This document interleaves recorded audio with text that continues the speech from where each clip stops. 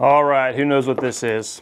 This is a Bosch CP4 pump. This thing's been used on the Super Duty since 2011 to current. Dodge used these for a handful of years. GM's used these for a lot of years. They have a bad reputation, but I'll tell you what, I've never had to replace one on any of my personal vehicles, and it's due to doing the correct maintenance. It doesn't like air. I have people that come in, they'll say, my truck ran out of fuel with two miles to empty, and they're upset because we had to tow them in. The fuel system full of air messed some things up. But if you run your fuel tank low and you're getting air into here, into this pump. Basically this thing has a cam lobe that is turning. It's gonna push on this little roller, which is almost like a piston inside of an engine. It's gonna press up and it's gonna pump and basically put high pressure fuel out of these two little pumps, like a little V-twin engine. If you're getting air inside of your fuel system, it can cause these little buckets to turn. And when that roller turns sideways, what happens is it starts grooving into this cam. If you've got high pressure fuel and you're getting air pockets inside there, the air can compress much more than fuel and it's gonna agitate everything inside that fuel system.